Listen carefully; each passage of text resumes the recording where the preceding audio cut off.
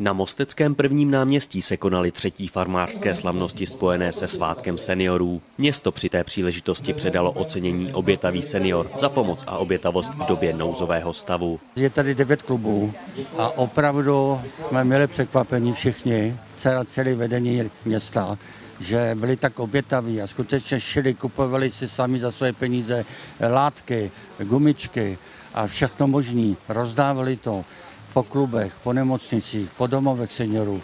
Takže je to něco neuvěřitelného, co ty naše seniory tady v Mostě, jak jsou obětaví. Ocenění dostalo sedm seniorů. Dohromady vyrobili přes 2,5 tisíce roušek. Zvláštní ocenění si převzal také zástupce větnamské komunity v Mostě, rovněž za obětavou pomoc při jarní vlně epidemie koronaviru. My jsme měli možnost ocenit vlastně obětaví seniory, kteří nám pomáhali v době covidu šít především roušky pro své přátele anebo pro seniory v našich eh, penzionech. A za to jim patří obrovské díky a myslím si, že eh, stojí za to eh, se takhle zmínit a především je ocenit, tak jak jsme to udělali právě na Den seniorů. Součástí farmářské slavnosti byl program na pódiu. Vystupovali děti ze základní umělecké školy FL Gasmana. Ženy ze seniorského klubu z Litvínova předvedly módní přehlídku.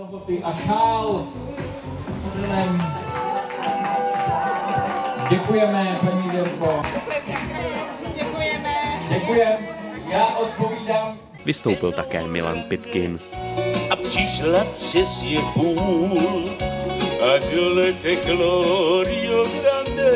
I když celý den doprovázel vytrvalý déšť, přišli si lidé na náměstí nakoupit k místním farmářům a výrobcům. Teď je absolutní vrchol vlastně farmářských trhů, nakonec, eh, jako je v červnu taková ta jarní sezóna, tak teď ten přelom září, října je vlastně nejbohatší, protože tady máme už úplnou sklizeň, ať už brambory, jabka, hrušky, samozřejmě pak takový ty klasické věci, jako je pečivo, uzeniny, ale už začíná i taková, jak se ochladilo, začíná i taková ta mm, sezóna zabíjačkových specialit, takže už se se třeba po létě objevují trnice.